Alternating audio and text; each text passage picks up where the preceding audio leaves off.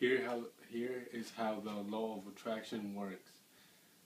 Even if you believe in the law of attraction, that it's real or not, it is real even if you believe in it or not. And it basically works that you gotta change your thoughts that you're where you are right now is basically your best thinking.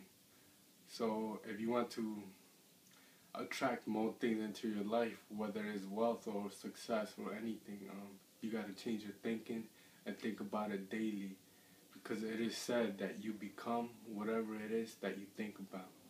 So once you start changing your thoughts and you get in the habit of doing it, um, most likely your paradigm will change, your whole life will change.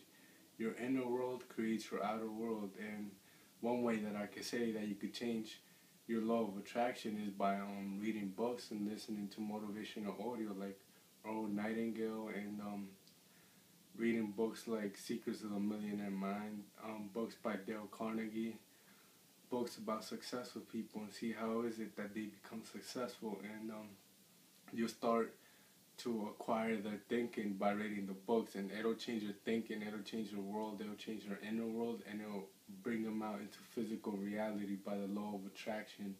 And um, that's basically what the law of attraction is. Like you become whatever it is that you think about. That's what you attract. Whatever you think right now is what you're attracting. So change your thoughts, become a more positive person, and um, give more value out to the universe.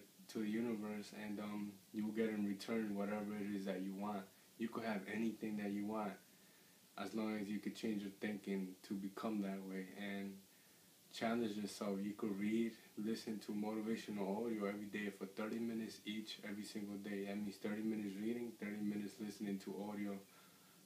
And um, that's one way that you could start um, acquiring new thoughts that will change your life for the better. So that's how the law of attraction works.